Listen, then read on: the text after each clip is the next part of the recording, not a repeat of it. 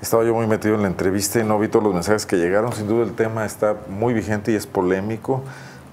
mensajes de apoyo a, José Luis Guerrero, una, señora que su esposo es taxista, lo apoya totalmente, quiere que saquen a Uber de la ciudad, pero hay quienes defienden a Uber y dicen que eh, da factura Uber, cosa que no hacen los otros taxistas, critican a, Línea Dorada también, Ricardo Gómez Escalante, que es muy crítico en sus comentarios, después te leer ahí en Facebook, para que no me haga repetirlos porque este, algunos son calificativos, por supuesto. Eh, bueno, vamos a otros temas. Luis Rafael Sánchez, director general para el desarrollo integral de la comunidad educativa en la Secretaría de Educación de Guanajuato, nos viene a platicar de un programa de impulso a la lectura que esto nunca sale sobrando. Rafael, ¿cómo estás? muy bien, Arnoldo. Oye, qué gusto estar nuevamente contigo en tu programa. Bienvenido, gracias, de veras, pues como siempre. Saludos a todos nuestros amigos que nos sintonizan a través de Zona Franca. Oye, ese, eh, eh, gracias por estar acá. ¿eh? ¿Es algo adicional a lo que se hace normalmente para incentivar la lectura del programa o, es dentro de los asuntos normales? Sí, fíjate que es sobre todo un, un programa complementario para incentivar la lectura en primaria principalmente y porque estamos viendo que día a día se viene trabajando con las tecnologías de la información. ¿Ya tienen tabletas los niños de primaria? Todavía no, todos. No, no, no. El programa de tabletas es, eh, ha sido para preparatoria y, eh, universidades. Ah. Este, en, el, en el tema de, eh, secundarias y primarias ha sido nada más a los docentes. Correcto. En ese sentido. Pero eh, acá el programa va enfocado sobre todas las aulas que se tienen en la Secretaría de Educación donde hay eh, computadoras y que los niños pueden acceder a programas ya de, lectura digital, pero con un programa que va alineado al programa de la Secretaría de Educación Pública. Entonces nuestros docentes empiezan a trabajar con diferentes módulos, hay de español, hay de matemáticas, hay de ciencias y de geografía, y hay cuatro vertientes en las que se trabaja de manera digital con los niños. Hay un personaje que se llama eh, Lector, como si fuera Héctor, pero con letra L, Lector lee.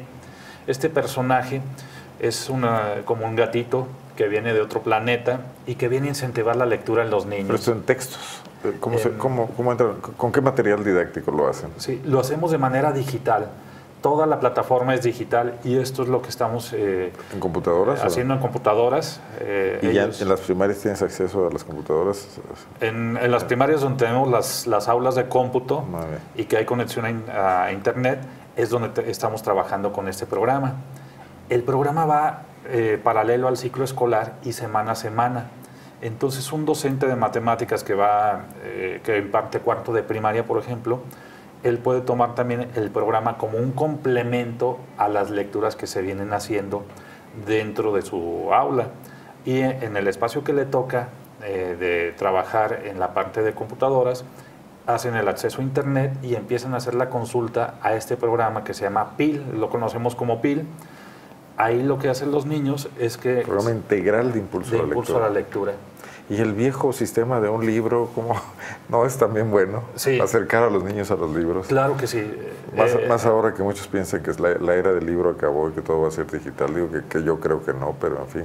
Sí, fíjate que como parte de este programa también las escuelas que van leyendo más y que van logrando estos retos, se hacen entregas de, bibliotecas físicas, pequeñas bibliotecas sobre todo en reconocimiento a que lograron cumplir ciertos retos. Entonces vamos combinando las dos partes pero algo que nos interesa mucho es que día a día los niños de repente le piden el celular al papá o a la mamá y empiezan a navegar un poco en él.